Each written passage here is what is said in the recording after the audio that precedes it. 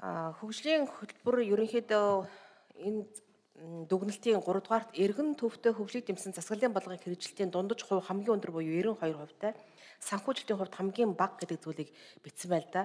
Нийгмийн хөгжлийн гол төв нь бол мэдээж эргэн байх ёстой. Иргэдийнхаа хөгжлийг дэмжсэн тал ер нь юу хийж чадваа гэдэг зүйлийг асуух гэсэн юм. Иргэд юу хүсэж байгааг бол ажлын байрал хүсэж байгаа. Ажилтаа олготой байх. Энэ асуудал дээр ер нь хөдөлмөр нийгмийн хамгааллын яамаас хэрэгжүүлсэн бодиттой ажлыг би асуумаар байгаа юм тэдэн хувийн хэрэгжилтэй тэдэн хувийн санхүүжилт дутуу тэдэн хувийн санхүүжилтээр тийм үр дүнтэй ажил хийсэн гэдэг нэг ерөнхий мэдээлэл сонсгоосоо илүүтэйгээр бодит мэдээллийг бид бас олон нийтэд өгөх ёстой байхаа. Ингэснээрээ засгийн газар болон улсын хурлын хийж хэрэгжүүлж байгаа үйл ажиллагаанд олон нийт дүгнэлт хийхэд дөхөн болов гэдэг үүднээс би бодиттой тоо мэдээлэл асууя гэж бодсон юм аа. За өмнөх жилүүдэд бас сая хүртэлх төгрөгийн дэмжлэр ажлын байранд залуучуудыг бэлтгэх томоохон хөтөлбөрийг Монгол Улсын засгийн газраас хэрэгжүүлж байсан. Нийтдээ нэг 9 мянган иргэнийг хамлаа гэдэг тоо мэдээлэл ярьж исэн. 9 мянган иргэнээ бид бид нар сургалт хөтөлбөрт одоо сая төгрөгийн дэмжлэгээр хамруулж чадсаж чадсан болвол өнөөдрийн байдлаар хичнээн иргэн ажлын байртаа болж амьдралдаа залгуулж чадсан бай гэдэг зүйлийг тодруулах юм. Гэхдээ нийгмийн халамж гэдэг юм уу одоо иргэддээ хүрсэн үйлчлэгэн дээр бид нар сайн зүйл байгаа юу гэвэл Монгол Улсын засгийн газраас хийж ирсэн олон сайн зүйлийг бид нэрлэж болно.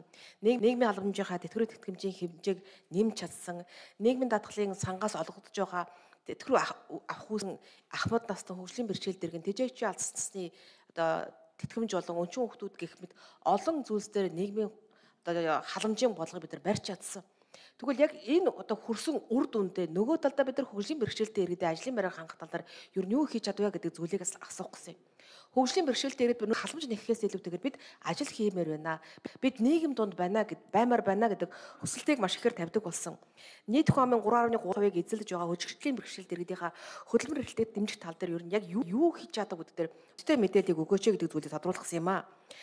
За нийслэл ба бүс орон нутгийн хөгжлийн талаар бас тайлан мэдээ гарсан байна.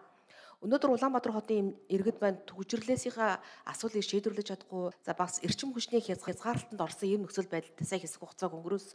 Тэгвэл бид нар өнөөдөр метротой болох гэж байгаа энэ сайн мэдээлэл байгаа боловч эргээд үнэхээр одоо энэ цахилгаан хөдөлгөөр метро ашиглах энэ эрчим хүчний маань их усүр бидэнд байгаа юу үгүй юу гэдэг зүйлийгруулах гэсэн юм.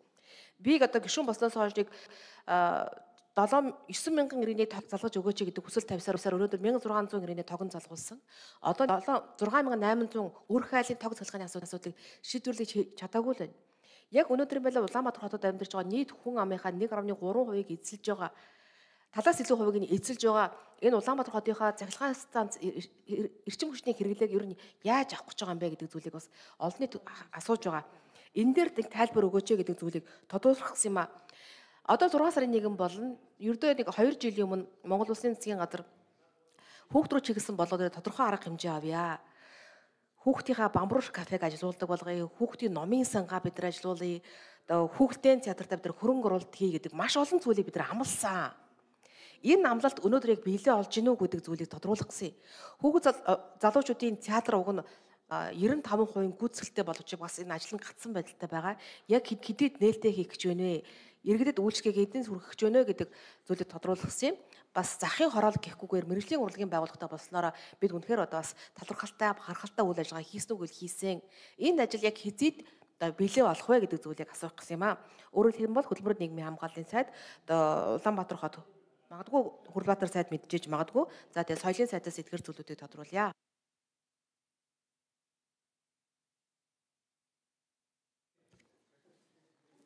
За хөдөлмөр нийгмийн хамгааллын яамны сайд болгон төвөөрөл.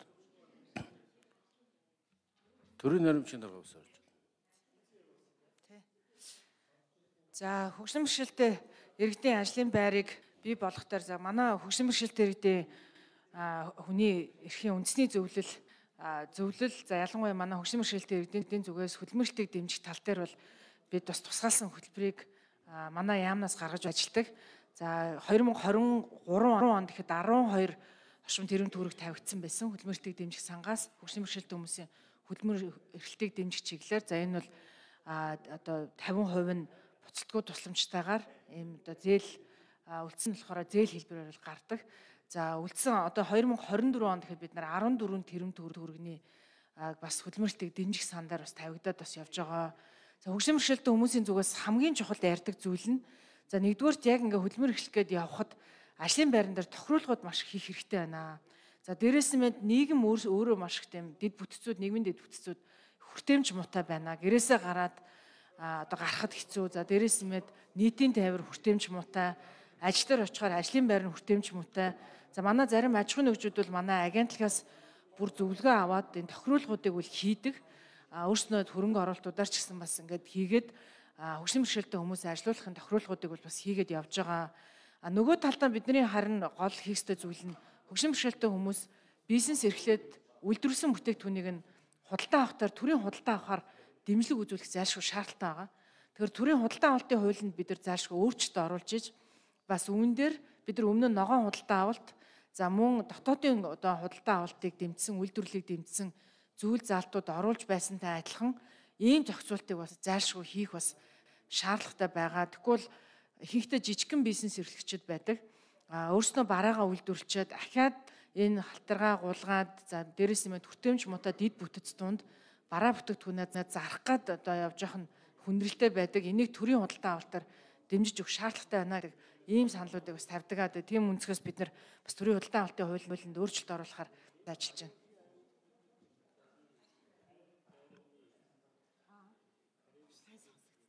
Tabii Üç.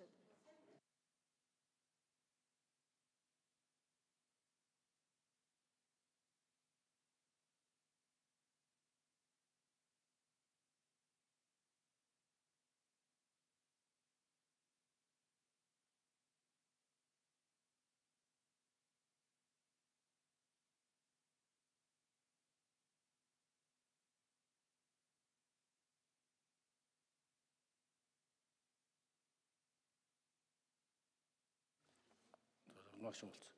За, Балжин нэмийн баяр цагаан гişүү асуулт. За, хариултаа соёлын сайд Билийн амнаас цэгдэрч байна. За.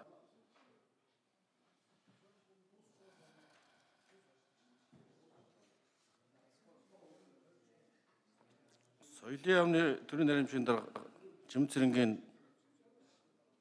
цэгдэрч нэг номер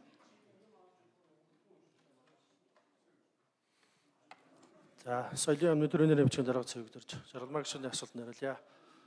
Аа, сонгоны ярхан дүүргийн төлөвшөлт баригдаж байгаа хүүхд залуучдын театрын барилгын ажил бол 98% та явж байгаа. Аа, энэ 22-ны өдөр улсын комисс ажиллаад 5 сарын 1-ний өдөр нээлт хийхээр төлөвлөд ажил нь явагдаж байгаа.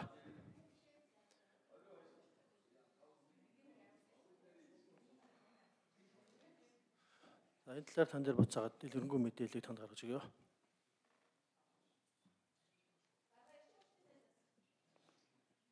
За онсын 50 нэг номер. Эрчим хүчний төрийн дамжин.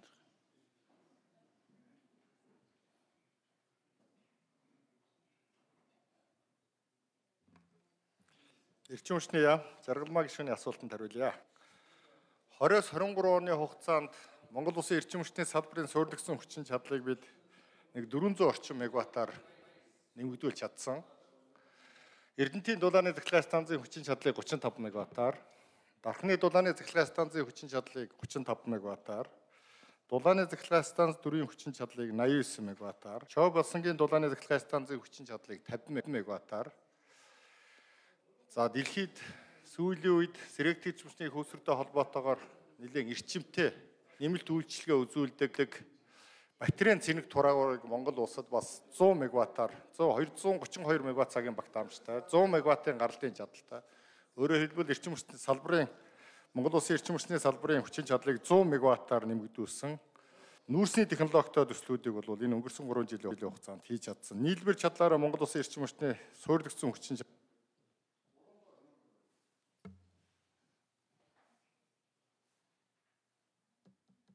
За Бадарчин жаргалан багш нь тодруулсан.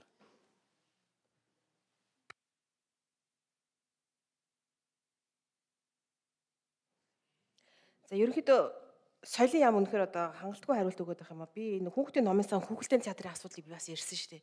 Санхүүжилтийн уганд бид нар шийдээд яваадсан санах юм. Тэгээ ганц ч ажил нь урагшаа яв.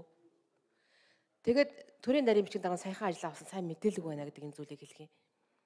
Эрчим хүчний шинэ их хүүсрүүдийг бий болгох талаар Улаанбаатар хотынхаа иргэдийг тог цахилгаанаар ядаж хангачмаар байна гэдэг зүйлийг яриад байдаг. Яг шин цахилгаан станц гэдэг юм уу бид нар өнөөдөр яриад байсан амгалан дулаан цахилгаан станц 5 дугаар цахилгаан станц гэдээ яриад байдаг. Тэр ажлууд нь юусоо байхгүй. Хүний хөгжил рүүгээ чиглэсэн хүнээ хөгжүүлж иж бид нар дараагийнхаа хөгжлийг ярмаар байдаг. Хүнээ хөгжүүлж чадаагүй иргэд нийгмээсээ бидлүү зүйл шаардаад байгаа нь бидний алдаа юм биш үү гэдэг зүйлийг би хэлэх гээд байгаа юм л да. Яг хүнлүү чиглэсэн хөгжлийн бодлого гэхэлэр хэрэгжилт хангалттай гэчихэд яг юу хийж чадваа гэхээр мэдээл байхгүй байгаа юм. Олон нийт чинь ийм л зүйлийг хүсэж байна шүү дээ. Одоо метро бариад байдаг бид нар даах эрчим хүчний их үүсвэрг бол бид нар яах юм бэ гэдэг зүйлийг За онцлог тайван бэксэд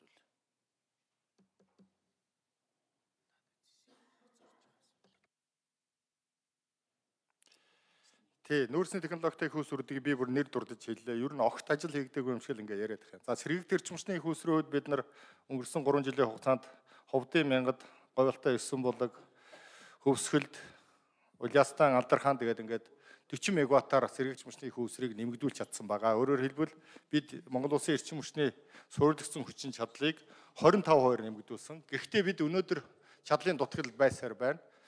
За шалтгаан болвол эдийн засгийн өсөлттэй холбоогоор эрчим хүчний хэрэглэгээ бидний тооцоосноос хэмжээгээр өссөнтэй холбоотой. За бас өмнө бид нэр одоо чадлын дутагталтай явж ирсний уршиг энэ цаг үед бас илүү тод одоо илэрч байна.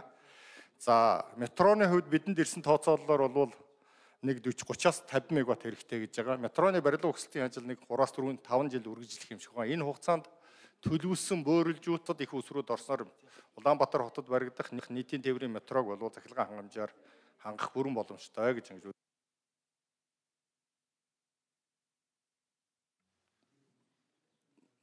За Балжинамын баяр сайхан гişүү одоо асуулт сууж өгөх хэлнэ.